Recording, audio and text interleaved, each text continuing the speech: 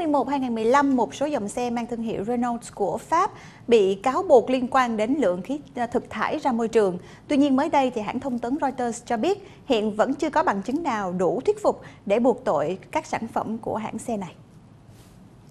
Trong khi scandal gian lận khí thải của Volkswagen chưa lắng xuống, thì tháng 11 năm 2015, tới lượt hãng sản xuất xe hơi nổi tiếng của Pháp là Renault trở thành đối tượng bị điều tra. Trước đó, Tổ chức Bảo vệ Môi trường của Đức đã cáo buộc một số sản phẩm của Renault có lượng khí thải ra môi trường vượt quá mức cho phép và nghi ngờ vào thiết bị đo khí thải của hãng. Tuy nhiên, mới đây nhất, người đại diện của hãng thông tấn Reuters cho biết hiện cơ quan chức năng vẫn chưa có đủ bằng chứng để buộc tội Renault vì những cáo buộc nói trên.